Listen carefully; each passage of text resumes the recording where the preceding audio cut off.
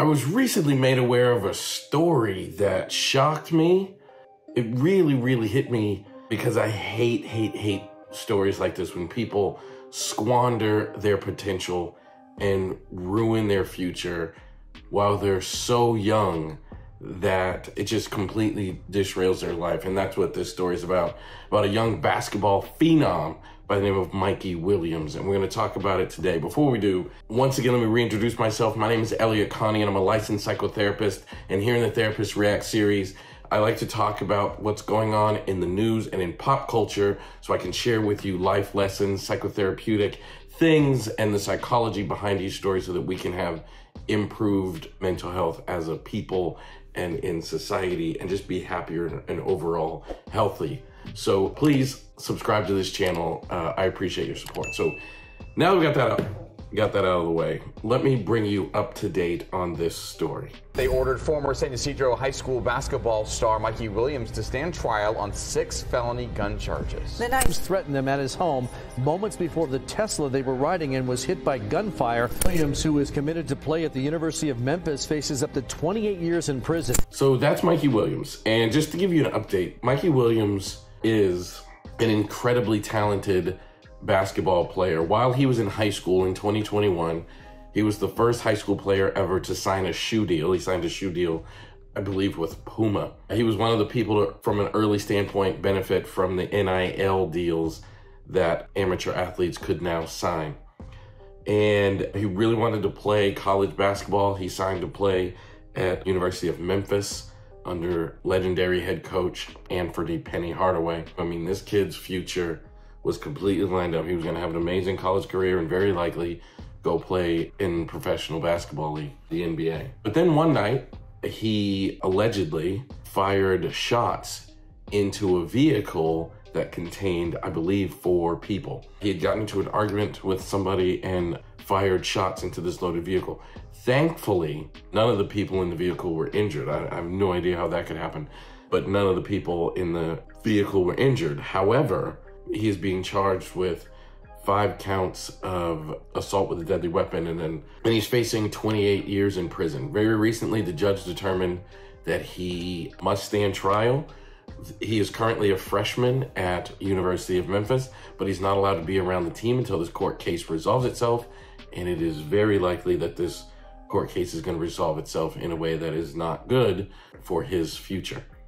And the lesson I want to share is I remember having a football coach when I was a teenager, I had a football coach who said, You can't win a game in the first quarter, but you can lose it.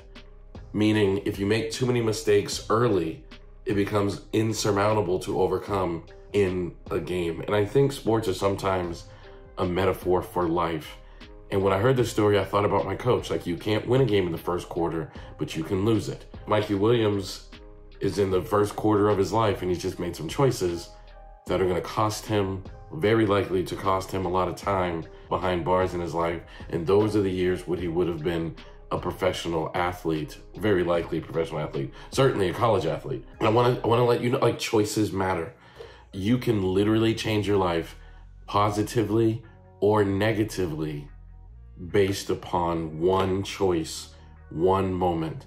You have to stay focused if you want to succeed in anything, in this case, basketball, in my case, becoming a psychotherapist.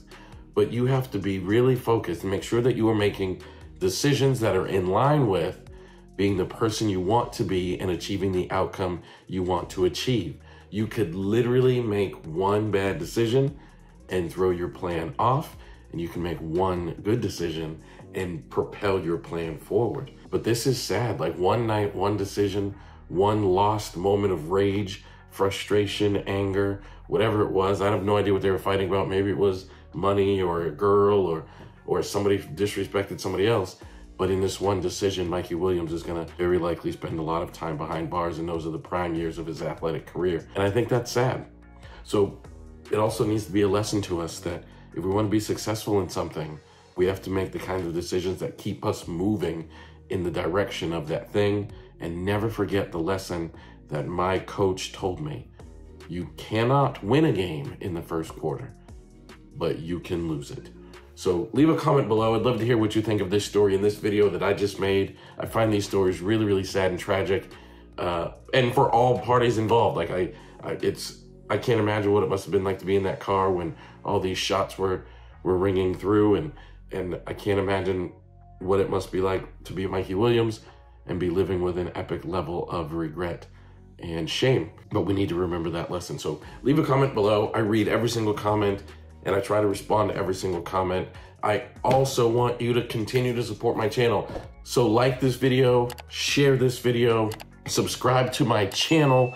That would mean the world to me. I appreciate every single subscriber and make sure you hit the notification bell so you get notified each and every time we post a new video, which is every single day, Monday through Friday. See you in the next video.